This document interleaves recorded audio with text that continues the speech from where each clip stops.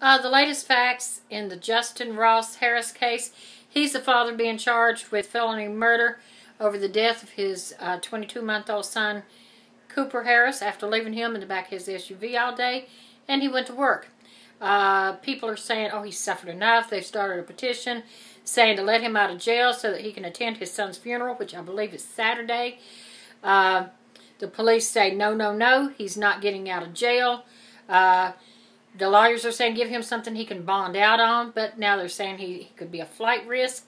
This is what they found. This is the latest in the case. And I bet these people who have been siding with him are now starting to feel like asses.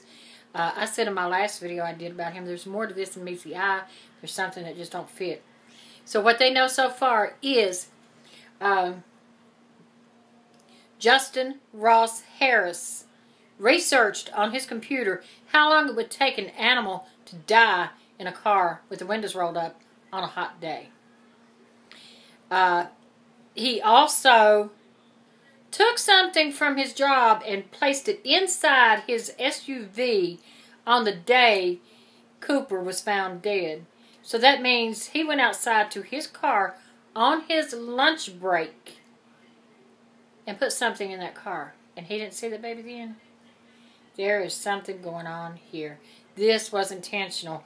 And this would have been the perfect crime had he stayed off the computer and had he not gone outside on his lunch break.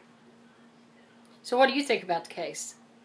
And they say that there's more details to come, so I'll be looking for that. And until next time, bye-bye.